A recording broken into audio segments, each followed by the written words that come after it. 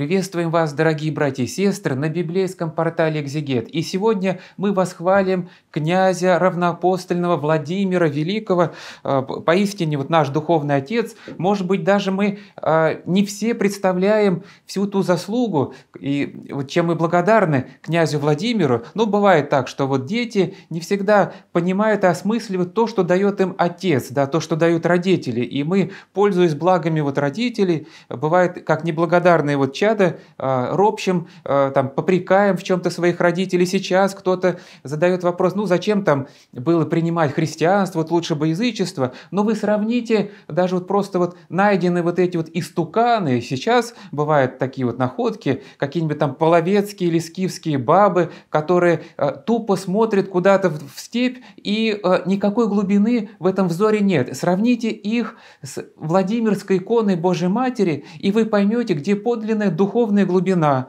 где подлинная мудрость, где подлинное сердечное внутреннее чувство, и станет ясно, почему именно христианская вера, она и была принята князем Владимиром. Конечно, князь Владимир Наверное, он сам еще поначалу даже а, не представлял, что такое а, вот все богатство православия и а, что вот промысл Божий он всегда ведет так, что люди зачастую поначалу даже не понимают, как они включены в этот Божий промысел и каким последствиям приведут вот те или иные исторические вот выборы. И, но выбор князя Владимира – это, безусловно, цивилизационный выбор. Если бы не крещение Руси, ну, что такое было бы язычество? Вот сидели бы там, вот как и ныне сейчас есть язычники, вот по-прежнему бьют они в свои бубны, да, а, там обкуриваются какими-то курениями, вступают в какие-то а, шаманические действия, вот соприкосновение с демоническим миром, и никакого развития, никакого пути вперед. То есть это просто бесовское обольщение, ничего там светлого, доброго. И, собственно, что предлагало язычество? А, вот есть какие-то боги, духи, с которыми ты соприкасаешься, и взаимоотношения с ними по принципу договоренности. Я тебе, ты мне, подай благо в этой земной жизни, ну а что после смерти? А после смерти все то же самое, как бы зеркальное отражение нашего грешного земного мира, поэтому поэтому-то и клали с, с умершим язычником там оружие, там, а, иногда даже и жену туда отправляли, если это богатый какой-то язычник умирал. А, поэтому приносили еду, что вроде как бы и за гробом он должен есть, пить, веселиться. И а, душа человеческая этим не насыщается. Душа человеческая, она ищет более чего-то чистого, безусловно чистого, высокого, а, таких глубин, которых не подаст ничто земное. Душа и человеческая ищет безусловной, вот абсолютной чистой любви, ищет истины, мудрости, ищет бесконечности, и э, никакая языческая религия этого не могла подать. А вот христианство, там, где говорится, что Бог есть любовь, и не просто любовь, а Он сам себя отдал в жертву за нас. В язычестве там всегда кто-то кого-то приносит в жертву, кто-то э, что-то чужое. Захватили у врага э, какие-то трофеи, принесли там часть жертвы богам, да? э, взялись там из своих животных, принесли жертву, а иногда и просто человеческие даже э, друг друга резали, убивали в честь своих мнимых богов, а в христианстве нет. Здесь сам Господь Бог есть такая любовь, что Он же и стал за нас жертвой. Он сам стал ради нас человеком, чтобы по любви по собой пожертвовать и нам даровать вечную, небесную, бесконечную жизнь. И те, кто вот почувствовали своим сердцем а, весть этой небесной вечной жизни, они откликнулись. И вот таков был князь Владимир. Но, безусловно, стал он таким не сразу, что мы о нем знаем? А, известно, что да, он, конечно, внук а, равноапостольной княгини Ольги, но Ольга активно не могла насадить вот христианскую веру, а, далеко не все собирались принимать. Сын ее Святослав был активным язычником, таким воином-завоевателем. Вот у него рождается как раз, у него родилось трое сыновей. Олег, Ярополк, Ярополк был старшим, Олег и Владимир. Причем Владимир рождается от ну, скажем так, о девушке не самого высокого, а, не княжеского рода. Она, э, его мама Владимира – это ключница Малуша. Имя Малуша, то есть славянское имя, То есть э, это не э, варяжское направление, не скандинавская кровь, а ключница, она была ключницей у княгини Ольги, то есть заведовала э, ключами всем хозяйством по дому фактически. У нее ключи от каждой двери, везде она может пройти, да, то есть что-то, она отвечала за а, присматривала за всеми постройками, домами, за распределением хозяйственных работ. И понятно, что как некая домоуправительница была да, а, у княгини Ольги, и это был очень высокий статус. Очень высокий статус.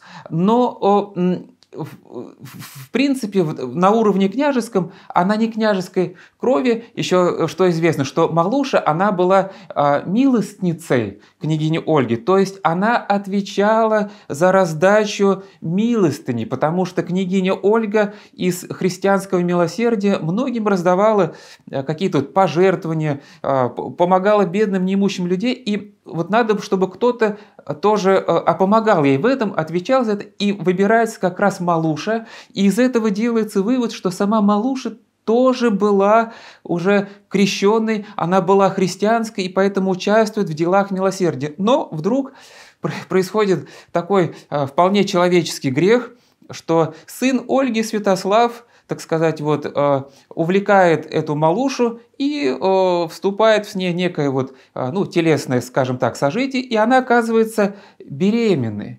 И э, мама вот княгиня Ольга, она недовольна, и поэтому отсылает Малушу э, в какое-то вот отдаленное селение, и там как раз рождается князь Владимир.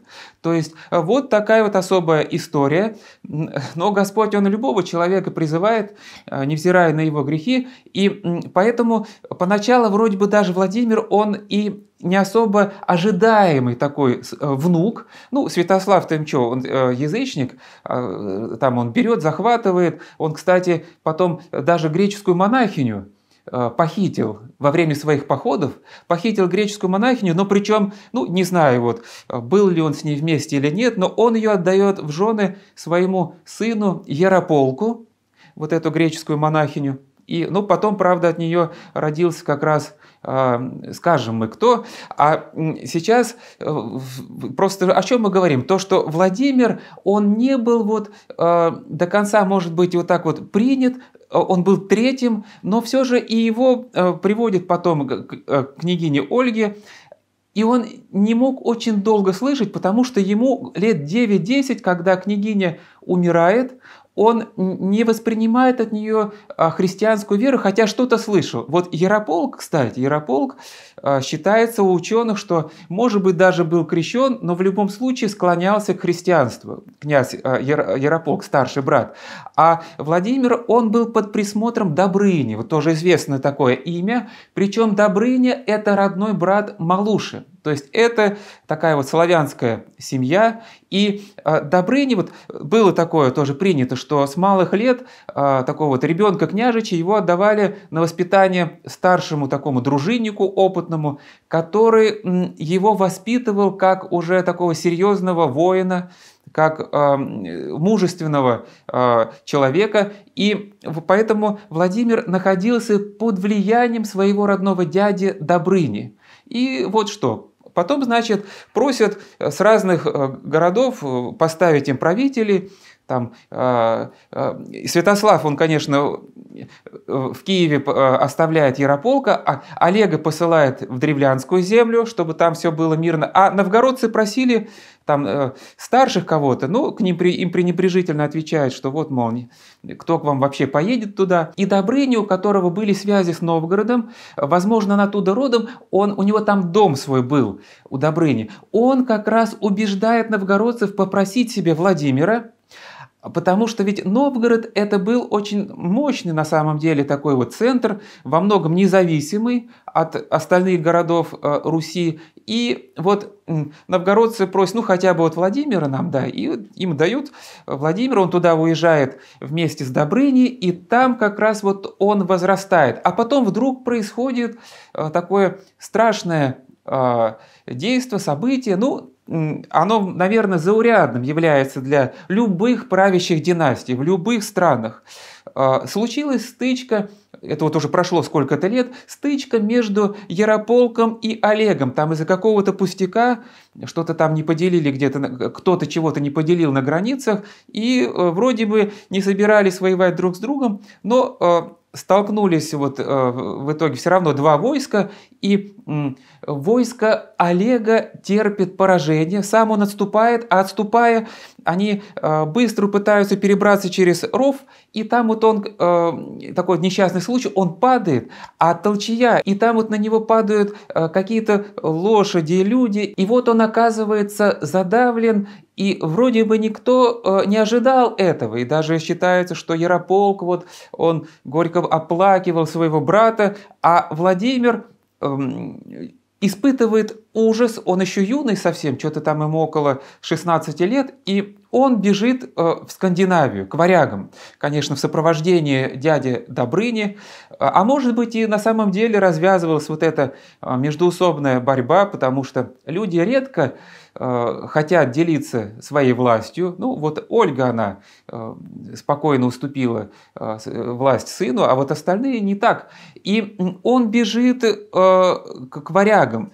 Там они, это вот здесь, конечно, уже сказывается его и таланты организатора, и будущего полководца, но еще он под влиянием Добрыни, конечно, вот они набирают войско вот этих варягов, и укрепленные возвращаются. И вот тут уже Владимир действует как такой вот мощный языческий князь, а, полководец, потому что начинает а, брать одно селение за другом, там Яропол где-то вот а, остановился, там закрепился, и в частности он захватывает, Владимир захватывает Полоцк, и тут вот была какая история, что ему, Владимиру, очень нравилась дочь полоцкого князя, ее звали Рогнеда, и он сватался к ней, а она ему гордо отвечает, что не пойду за сына рабыни, то есть это было, конечно, такое вот оскорбление. А почему сказано? Потому что, ну, Малуша, она была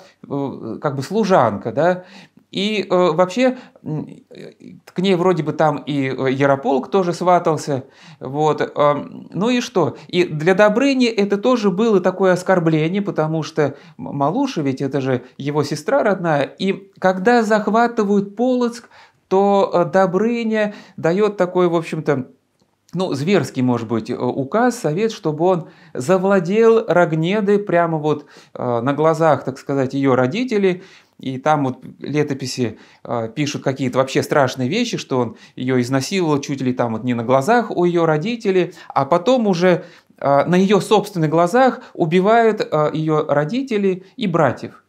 То есть это такой вот пик э, языческого торжества, пик злодейства, и летописи э, отзываются о князе Владимире того времени, как ну, о каком-то вот э, звере просто, вот, э, который зверь зверем, и поэтому вот он поступает подобным образом. И э, после этого он движется уже к Киеву, да, э, ну, Киев тяжело взять, и тогда вот тоже среди, это вот все, понимаете, проявление язычества. Среди киевлян, точнее, среди высокопоставленных, там такой нашелся воевода, тоже подлец такой, по имени э, Блуд. Само имя красноречиво, но на самом деле имя это было э, варяжское, и в переводе, в переводе оно означало «кровавый», тоже не менее красноречивое значение. И вот этот вот Блуд, он э, входит в договоренности с Владимиром, и такой вот, так, э, а Ярополк он э, начинает как бы обманывать, коварно поступает.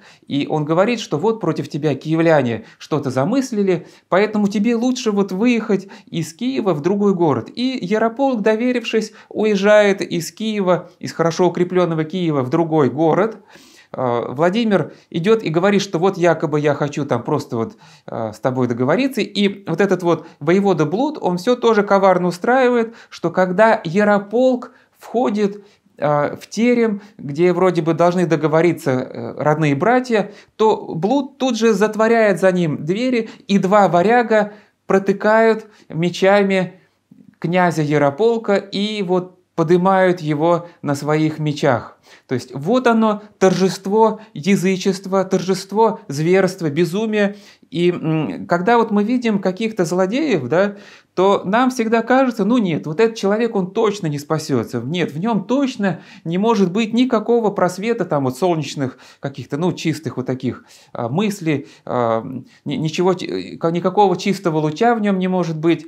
И это вот наш наше человеческое суждение, а у Господа иной суд, потому что Господь э, любого самого страшного злодея может преобразить преобразить по подобию вот тех вот покаявшихся в Евангелии величайших грешников, которых мы видим. И из таких злодеев Господь тоже может соделать своих э, возлюбленных чад, потому что они покаятся, они в своих грехах искренне раскаяться. Но на тот момент э, Владимир вовсе был не таков, и э, завладев Киевом, он совершает именно языческую реформу. Если Ярополк где-то вот поддерживал христианство, уже где-то вот разрешал строить храмы, э, то князь Владимир, он наоборот все вот это вот зачищает он, э, так сказать, отодвигает все христианское подальше и он ставит, он пытается реформировать язычество. Видимо, в то время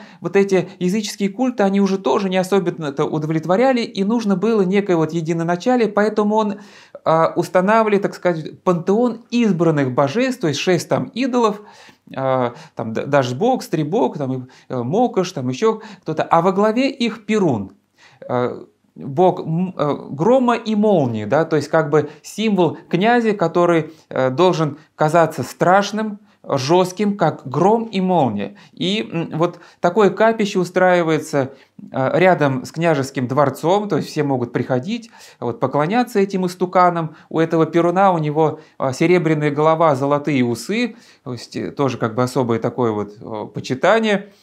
И Владимир, он двигается дальше, да, то есть он э, побеждает поляков, ну как там они называют, потом побеждает етвягов, то есть балто-литовские племена, он завоевывает вятские э, земли и так далее, и так далее. Он старается воевать с печенегами, он э, хазар разбивает, но с печенегами не очень получается.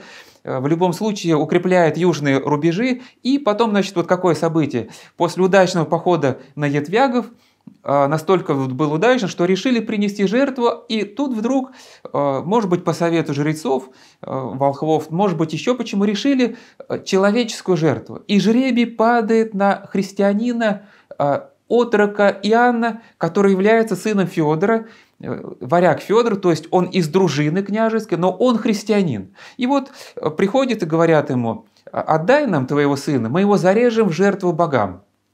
И вдруг э, Федор говорит, нет, я вам не отдам, потому что ваши боги – это ложь, вы служите бесам, а мы почитаем истинного Бога. И сына я вам не отдам.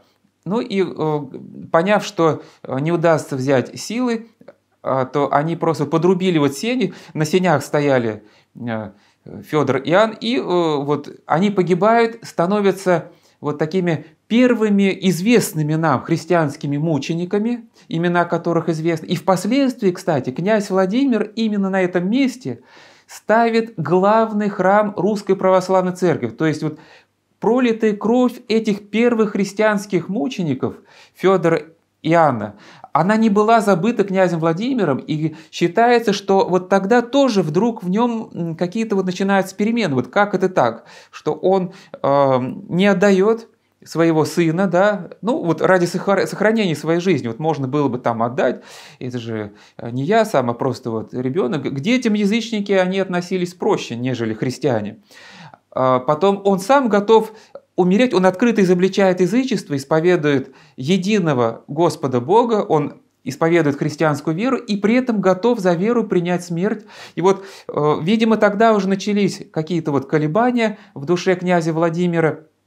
И э, мы знаем, что Конечно, э, в разных местах уже совершалась проповедь. И мы, и, конечно, знаем из летописи о том, что приходили вот эти вот посольства от разных там, представителей религии, и Этому тоже есть исторические а, подтверждения. Ну почему? Потому что, допустим, вот Хазария, Хазария было э, достаточно такое мощное государство, которое, э, в общем-то, э, зачастую даже э, русские платили дань э, хазарским ханам или там их каганами называли, да, вот, э, и они иудеи. И, кстати, э, была определенная иудейская община даже в Киеве, Поэтому с иудаизмом действительно князь Владимир знакомился, и вот они присылают, ну, вначале там описывают, что прислали э, мусульмане. Ну, мусульмане были Волжская Булгария, вот они приняли ислам, и они присылают и говорят, что э, ты вот хороший князь, но э, для того, чтобы все было нормально, ты вот прими Магомета, поклонись ему. А он стал там узнавать чуть подробнее, оказывается, надо обрезываться, оказывается, надо там отказываться от алкоголя, от свинины, вот. Э, а он же еще язычник, он как вот то, что привычно ему. И хотя вроде бы а, нравилось их многоженство, вот летописные сказания говорят, что вообще Владимир был побежден похотью, и у него было много там разных, ну, жен, может быть, не очень много, там, вот пять точно было, а были наложницы. И э, э, вот он вроде бы был побежден, но все равно от ислама он отказывается, не захотел принять эту религию. Затем приходили иудеи, которые активно там рассказывали тоже про свою э, веру, и только, а он спрашивает, а где ваша родина вообще? А, Иерусалим, вот, но сейчас наша родина, она там захвачена, мы находимся в изгнании, и он говорит, ну, если Господь, так сказать, вот э, к вам самим не проявляет милосердие, да, и вы живете вне своего Отечества, то что же вы хотите э, принести нам? Тогда и мы тоже будем такими же изгнанниками. Э, то есть э, здесь тоже определенный такой тупик. Приходили, кстати, и христиане к Владимиру, но приходили они из западных территорий. В принципе, те, если так вот формально, тогда еще не было деления на православие и католицизм, но две традиции уже разошлись в разные стороны. И вот приходили западных территорий, и Владимир даже не стал с ними беседовать. И он что сказал? То, что вот вашу веру отцы наши не принимали. То есть западная культура была чуждой для Древней Руси.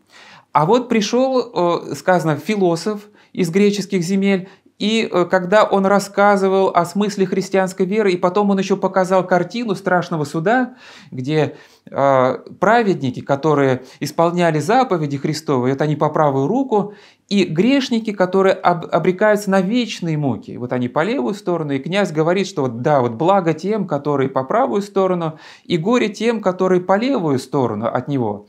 То есть это вот такое как бы наглядное а, изображение конечных судеб мира, да, и что есть, конечно же, перспектива вечной жизни, но не для всех одинаковая.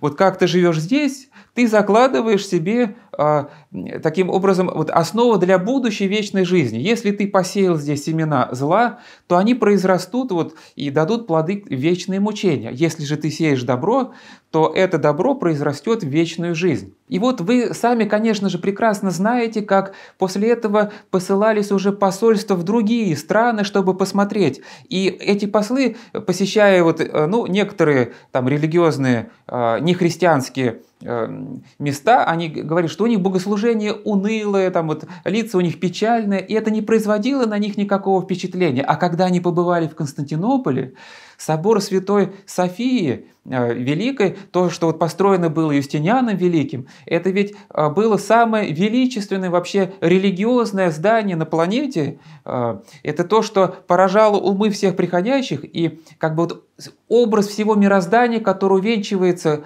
вот куполом, как бы парящим над храмом, как некий вот образ небесного мира, и богослужение было настолько вот торжественным, что вот действительно чувствовалось присутствие Божие, и послы, возвращаясь, говорят, что когда мы были там, то мы не знали, где мы находились, на небе или на земле.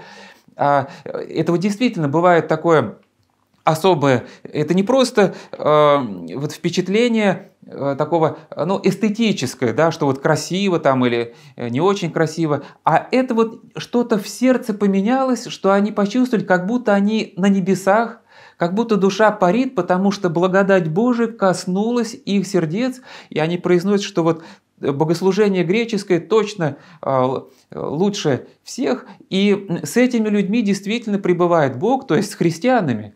И вот это вот становится в каком-то смысле, может быть, даже вот решающим аргументом, то есть непосредственно присутствие Божие. Вот понимаете, историки, они много спорят об этом, они высказывают разные версии. Но дело в том, что э, в принципе э, государство, оно может э, быть крепким, быть крепким, э, не обязательно э, приняв христианство, понимаете? То есть, то есть, если вот христианство это ну просто вот как какой-то там такой вот внешний фактор, вот, что не примем христианство, не станем крепким государством. Нет, мы видели массу и знаем массу государств, которые там, скажем, исламские, да, в наше время, в принципе, и государство Израиля, оно тоже участвует в политике. Мы знаем Э, государства, которые были атеистическими и являлись достаточно мощными и диктовали свои условия э, для всей планеты. То есть, понимаете, вот принимать христианство только ради каких-то вот факторов внешних, чтобы вот просто вот укрепить государство, это вот вряд ли является основным аргументом. То есть что-то, видимо, поменялось в душе самого Владимира, и когда оказалось, что ну, язычество действительно оно не напитывало сердца людей, то есть оно давало что-то вот на очень короткий отрезок времени, ну да, ты вот сеешь, там жнешь, ты как-то вот соизмеряешь эти дни с, с природными явлениями и начинаешь одухотворять сами эти природные явления, ну а где же то, что вот над всем этим, где же вот а, высший смысл? И это вот давало именно христианство, которое говорит о Творце всего мира, что Он Творец наш, Он Творец природы, да, что а, к Нему можно обратиться, и Он услышит, как Небесный Отец, который тебя видит, любит, который может тебе помочь, и язычество вот это вот не давало. И Владимир начинает склоняться Э, к принятию христианской веры. И э, вот тут вот происходит то, где э, особенно ломают копии историки, и в принципе насчет даты крещения, но по большому счету вот для нас, для православных христиан, это не имеет большого значения. Вот 988 год или какой-то иной, на самом деле там как бы в пределах от 986 до 990 Э, года. Вот примерно вот в эти четыре года происходили данные события, но для нас это не, не, не играет большой роли, потому что мы верим не в даты, не в цифры. А мы поклоняемся не какому-то году, да, мы веруем во Христа, который просвещает людей, и мы а, вот исповедуем, что при Владимире Русь, она действительно крестилась, и начинается путь Святой Руси.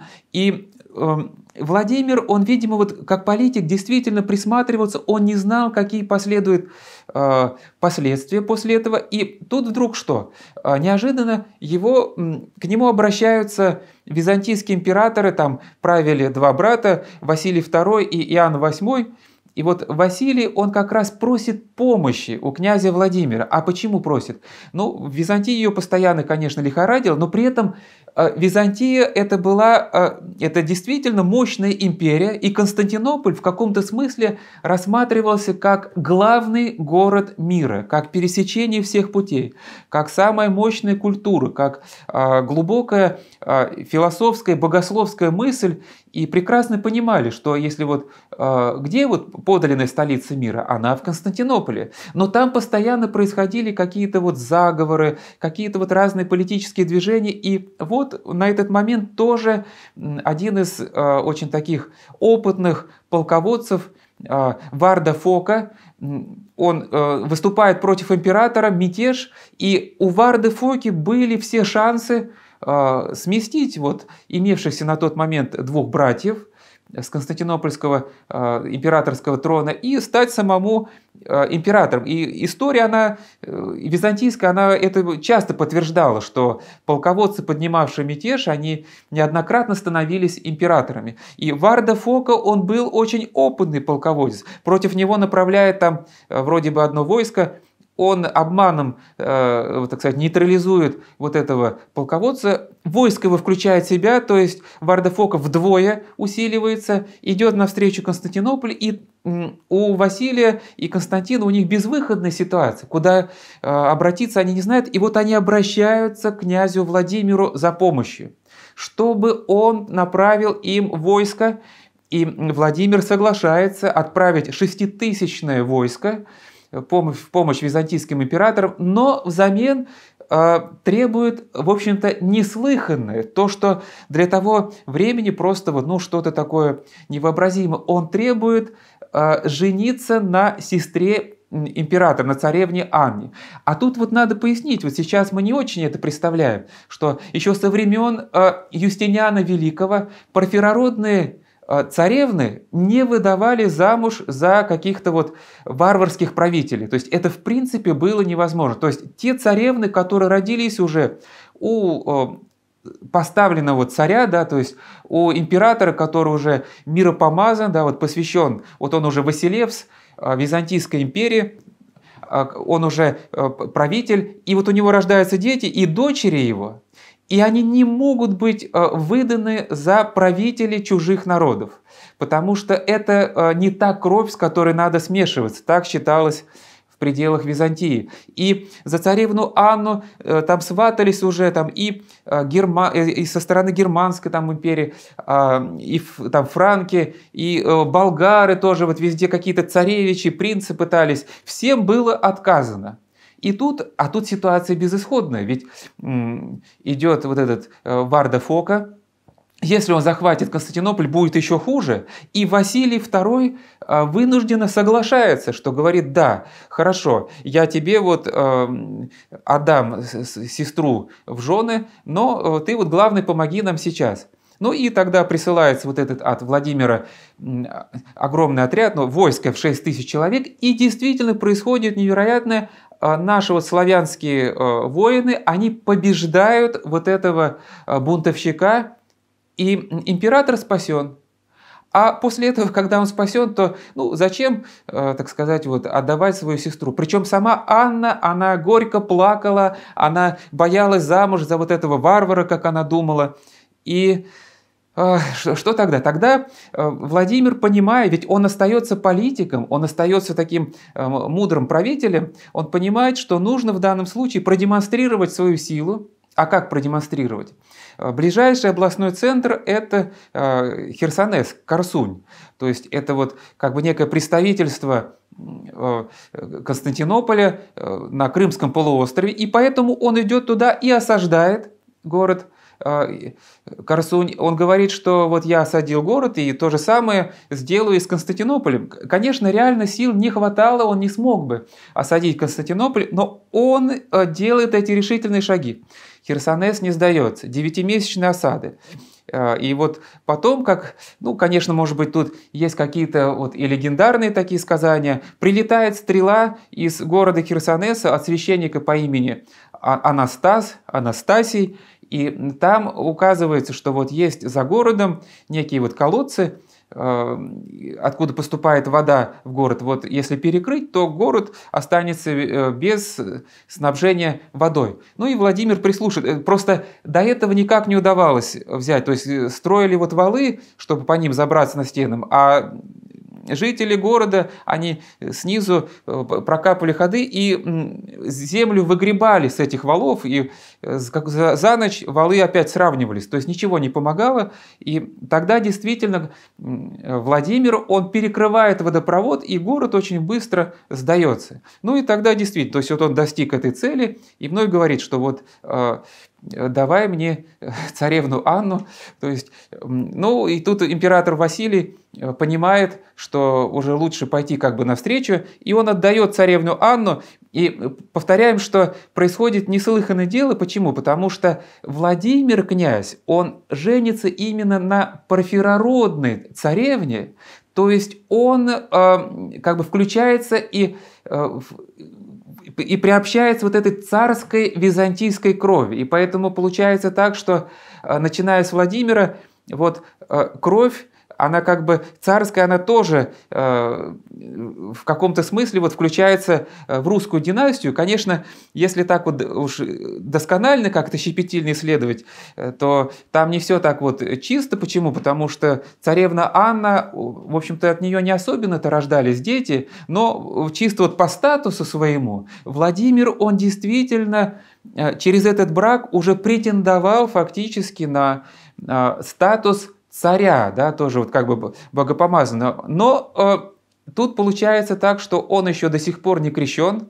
и посылая ему невесту, они говорят, что ты не можешь жениться на ней, если не будешь крещен. И получается так, что вроде бы действительно э, вот такое вот событие, необходимость жениться, да, то есть как бы вот это вот присутствие женщины, оно повлияло на крещение князя Владимира, но мы говорим, что этому предшествовало уже очень много разных событий, да, в это поиск веры, и не хватало чего-то решительного. Вот эта вот царевна Анна, она фактически и является вот последним, так сказать, вот доводом, аргументом, который склоняет Владимира к принятию крещения. И, конечно, есть там вот э, такие сказания о том, что он разболелся глазами, да, и потом вот когда уже крестится он в Херсонесе, то он произносит э, знаменитую фразу «Теперь узрел я, то есть увидел я истинного Бога». Но это больше, конечно же, было такое вот духовное прозрение, что он жил во мраке язычества, а теперь он становится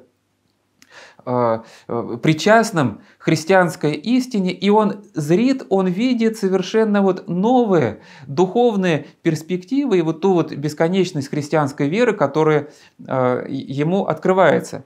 И крестится он там, да, ну есть, конечно, разные версии, смысла нет нам их разбирать, и в нем происходит решительная перемена. Просто решительный перемен. Да, вот они, конечно, возвращаются уже в Киев, а, но это едет совершенно иной князь.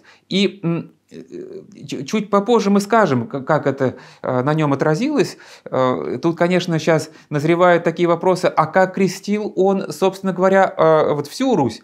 А вот как? Дружина, дружина совершенно спокойно крестится вместе с князем, и это какое-то тоже невероятное э, дело. Вот вспомните, почему отец его, Святослав, отказывал своей маме Ольге креститься. Он говорил, что дружина будет смеяться надо мной. А князь Владимир крестится, и дружина его крестится. Князь Владимир никак не мог повлиять на свою дружину, потому что это вот именно избранные такие вот воины, их э, всего лишь несколько сот, там 400, ну может быть до 800 э, таких воинов, они крестятся тоже потому, что и в их душах наступает какая-то перемена.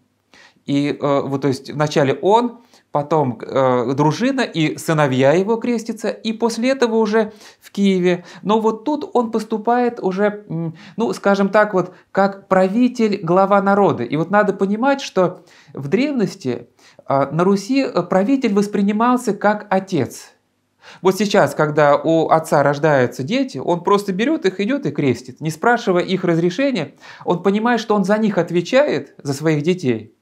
И поэтому он не может оставлять их Э, во мраке неведения, то есть он сразу с малых лет их э, приобщает благодати Божией. Вот так же э, думал поступать и князь Владимир как отец народа.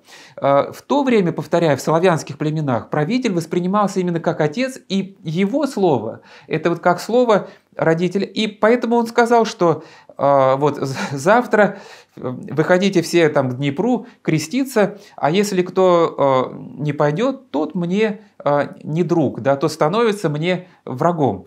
Э, чисто вот повторю, военных возможностей, вот эта вот дружина, она не могла бы силы покрестить весь Киев, потому что не могут там 400 или 800, 800 дружинников покрестить там 50-тысячный город силой.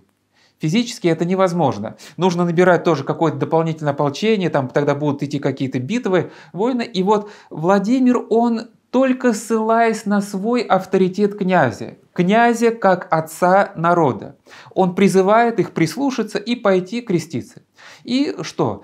Тут, ну, конечно же, было, скажем так, три категории. То есть одни а, пошли, потому что если вот они рассуждали так, что вот Владимир, он не будет желать вот плохого, поэтому мы идем и принимаем крещение. Другие как бы сомневались, колеблись, но пошли по слову просто. То есть одни искренне, другие в сомнениях, но прислушались. А вот третьи были, которые не захотели устранились. И потом мы знаем, что была еще, конечно же, неоднократная языческая реакция. Но вот крещение все-таки на Днепре народа состоялось. После этого он посылает а, священнослужителей и своих сыновей в разные города, чтобы там они тоже пытались крестить народ. И, но Киев, понимаете, он уже был во многом христианизирован. То есть не только при Ольге, а еще и раньше, и уже при Игоре там была церковь, и христиан было много, поэтому Киев в каком-то смысле был подготовлен. А вот основной э, вопрос и основное притыкание как бы возникает в, в отношении Новгорода, про который говорят, что там э, Путята крестил там, огнем, а Добрыня мечом. Да? Ну, напомним, что Добрыня это кто? Это вот дядя князя Владимира, он тоже принял крещение. И э, у Добрыни в Новгороде был свой дом, и в то время там находилась его жена, дети – а Путята это был Тысяцкий, то есть военачальник, который заведовал тысячей воинов. И Владимир действительно понимал, что вот Новгород, и это потом всегда было так, Новгород, он живет как бы а, как самостоятельная республика. Он вроде бы внутри русского государства, но он не во всем подчиняется. А, у Новгорода свое вече, они могли приглашать князя, потом прогонять его, ты нам не нужен, потом опять приглашать. То есть это была очень свободолюбивая такая демократичная республика, и там не все могло пойти гладко, поэтому действительно Владимир направляет туда а, Влади... Э, э, Добрыню, э, ему дает вот этого путяту а, с тысячей воинов, и они идут. И Добрыня поначалу, как вот он останавливается и предлагает креститься, и там было два крещения, как бы малое крещение и потом большое крещение. Вот э, в первом случае там тоже как бы три этапа, что поначалу крестилось сколько-то, но не очень много. То есть это были люди, которые э, в принципе, э, расположены были уже к христианству, может быть, сколько-то десятков или, может быть, даже сотен людей, но не очень много. Потом через непродолжительное время, поскольку крестилось очень мало людей, то священники вновь стали ходить, проповедовать вот по улицам, по торжищам. И Добрыня, э, став вот с одной части Новгорода, вновь предложил э, принимать крещение, то есть как бы более масштабное. А проповедь, э, в принципе, совершалась. Но тут вдруг со стороны новгородцев их Тысяцкий, то есть их вот военачальник по имени Угоняй, тоже красноречивое имя, вот этот Угоняй стал активно призывать э, новгородцев выступить против Добрыни, да, и э, даже к такому силовому э, методу. А сам Добрыни понимал, что у него сил вместе с Путятой маловато. То есть вот эта вот тысяча, она не могла ничего совершить в Новгороде в случае такого прямого столкновения. И он предлагал как бы вот по-мирному решить этот вопрос, а воевода Угоняй новгородский, он первый перешел в наступление, и что произошло? Они э, захватили дом Добрыни, поубивали родственников, и ну, там в летописи сказано, что вот избивши в том числе э, жену Добрыни, не совсем понятно, избивши, то есть убили или только вот подвергли избиениям, то есть двор Добрыни был разорен, а Добрыни это вот официальное лицо, лицо князя Владимира, получается, что уже возникает политический конфликт, и Новгород начинает Э, откалываться. И тогда что? Вот Добрыни Путята понимают, что у них очень мало времени на э, организацию такой вот серьезной войны, и ночью Путята с, пять, с пятьюстами воинов потихоньку заходит в город еще с одного конца, проходит мимо э, капища, не разрушают его и идут и к дому вот этого угоняя, и оказалось, что те как раз проводили там совет и захватывают вот этот штаб мятежников. Утром э, новгородцы увидели, что э, их штаб находится уже в руках Путяты, собирают 5000 воинов, и тут вот начинается уже сражение. Они атакуют, штурмуют э, здание, в котором укрылись ну, вообще вот эти вот там, э, домишки, чистоколы, э, в котором укрылись Путяты и его воины. И так как было десятикратное, конечно, превосходство, то тяжело было содержать. Через какой-то день Добрыня он поджег часть домов с одного края, и люди отвлеклись тогда от осады Путяты и побежали тушить свои дома. И тогда Добрыня, Добрыня он э, прекращает полностью военные действия, он позволяет потушить спокойно дома, и тогда уже начинается как бы опять вот мирные обсуждения. То есть, да, мы видим, что не все шло гладко, но здесь больше были уже такие вот э, противоречия э, политические, и тем более, что новгородцы, они первые нанесли удар и разорили дом Добрыни, то есть то, что в те времена не могло остаться вот безнаказанным, но Добрыня никого не подвергал уже казням, он э, уже э, дальше направляет священников, и, конечно, вот э, новгородская земля, она, ну и сам вот Новгород, там не все шло так вот гладко, но не надо думать, что как бы вот специально с самого начала шли для того, чтобы силы там всех вот куда-то окунать. И, конечно, мы не можем э, тоже отвергать, что у людей возникало некоторое еще двоеверие, да, то есть не все приняли новую веру истинно, они э, некоторые принимали чисто вот внешне, да, и таким образом возникало двоеверие, и вот эти вот змеевики, так называемые такие вот змеевики, то есть э, медальоны, с одной стороны, там, допустим, образ какого-то святого или Божьей Матери, а с другой стороны образ медузы Горгоны, там какая-то вот змеиная голова, как бы языческий уже оберег. Это все тоже бывало, но это э, вот шла такая вот духовная борьба, когда язычество, руководимое падшими духами, оно пыталось вот закрепить, свои, сохранить какие-то свои позиции, нанести какие-то свои удары, а не всегда быстро меняется общество, и нужно было определенное время. Что же касается самого князя Владимира, то вот в нем произошла действительно решительная перемена. И если раньше он был женолюбивым, то теперь он отпускает всех своих вот этих вот жен, наложниц. Он живет уже только с царевной Анной.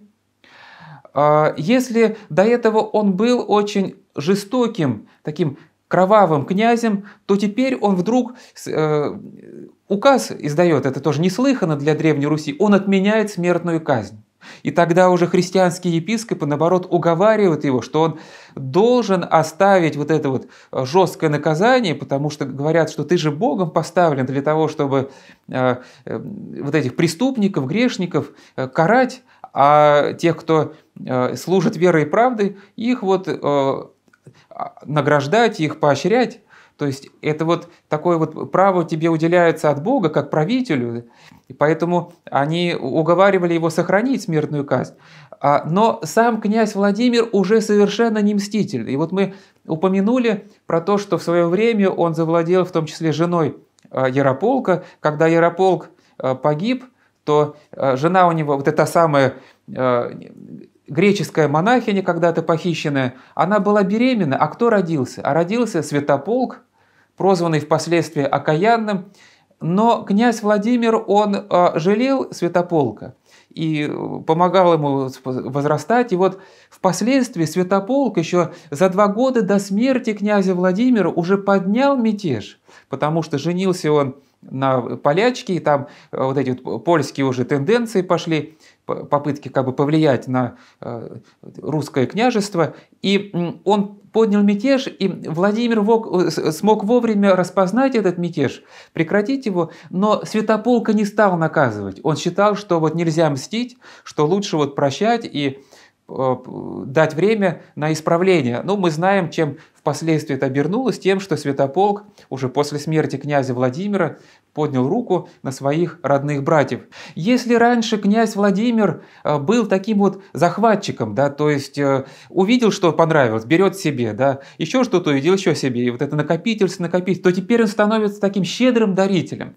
И э, летописи сохраняют, что он не просто вот, ну, по праздникам устраивает какие-то там э, такие э, трапезы для киевлян, что это очень богатые столы, где все бесплатно могут поучаствовать в празднике христианском, торжестве. Нет, не только это, и это было. Но он специально узнает, где находится, то есть была специальная служба, которая узнавала, где неимущие, где калеки, какие-то инвалиды, бедные, страждущие. И специально этим людям развозили яства, то есть организовывались, а, ну, развозили на телегах, которые снабжали вот этими продуктами, и даже выдавались а, денежные пособия этим людям.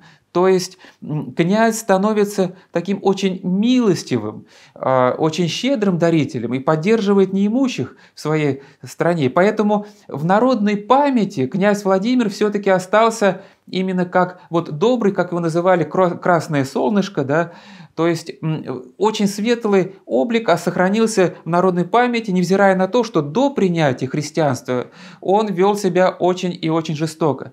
И еще, конечно, вот такая мера, что князь Владимир организует первую э, христианскую, вообще, в принципе, первую школу.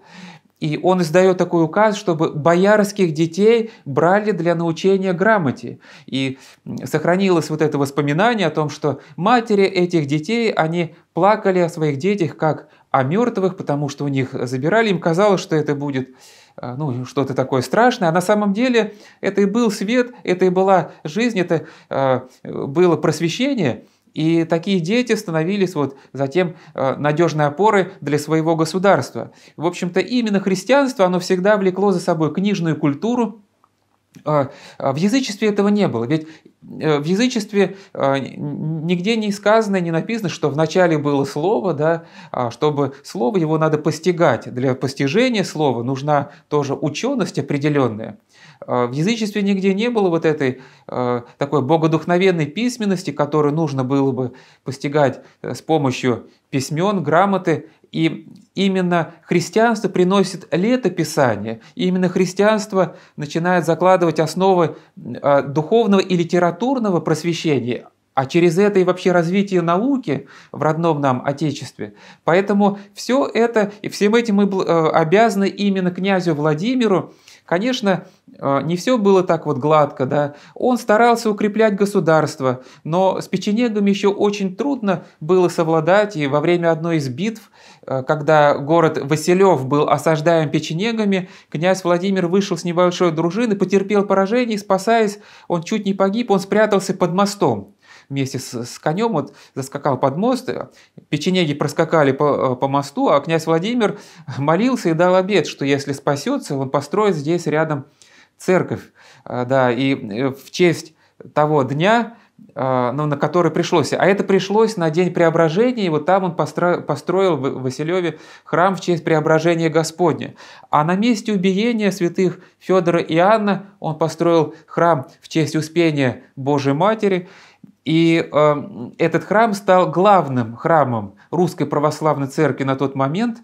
Князь уделял десятую часть от своих, своих доходов, и храм стал называться поэтому Десятинной Церковью. Туда он перенес э, мощи своей бабушки, святой княгини Ольги, происходили исцеления от этих мощей. И, в общем, конечно же, князь Владимир уже э, видел смысл своей жизни во многом в таком христианском просвещении э, русских земель, да, он старался исправлять свою жизнь. И, конечно, мы не можем назвать его чисто по-человечески, таким вот, ну, может быть, идеальным человеком или безгрешным человеком. Но вот в Священном Писании, в соборном послании апостола Иакова сказано, что, братья, если кто из вас уклонится от истины, а язычество это и есть уклонение от истины, и обратит кто его, то есть обратит от лжи к истине – Пусть тот знает, что обративший грешника от ложного пути его спасет душу от смерти и покроет множество грехов.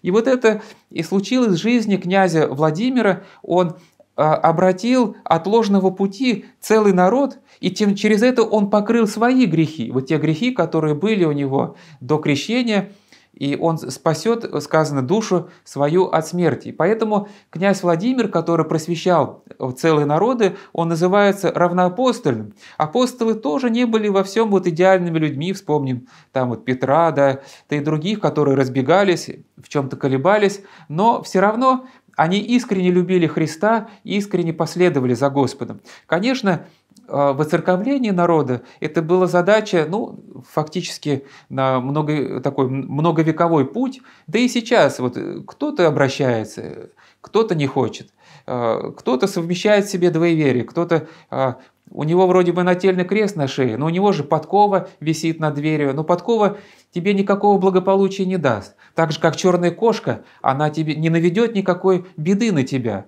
Мы наводим на себя беды не черными кошками, да, а своими собственными грехами. И своими грехами мы делаем себя настолько черными, да, что сами потом бывает страшно от своих поступков.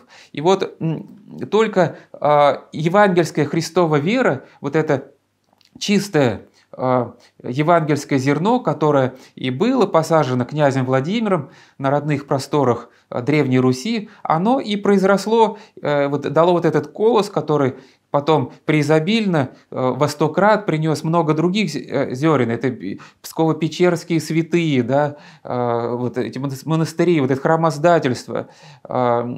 Уже к концу правления князя Владимира там около 400 храмов было в Киеве. А храмы это что? Это ведь непременно чьи-то спасенные души. То есть кто это кается в своих грехах, исправляется, приобщается к Господу. А исправленный человек, вот если ты уже получил этот опыт, опыт преодоления, какого-то греха, то это на все общество э, оказывает огромное влияние, потому что общество складывается из отдельных личностей, и каждый, вот, кто преобразил свою душу, душу, он тем самым потихоньку преображает, преображает и общество. Поэтому э, поблагодарим святого князя Владимира за то, что он сделал именно этот выбор, и попросим его ходатайствовать на небесах за нас пред Господом, дабы нам быть верными чадами Христовыми, не возвращаться ни к какому язычеству, не уклоняться в двоеверие, но всецело менять свою собственную жизнь. Какие бы ни были грехи, исправляя себя, как исправил себя князь Владимир. Святой равноапостольный княже Владимире, моли Бога о нас. Аминь. Внеси свой вклад, оцени, подпишись и поделись этим видео.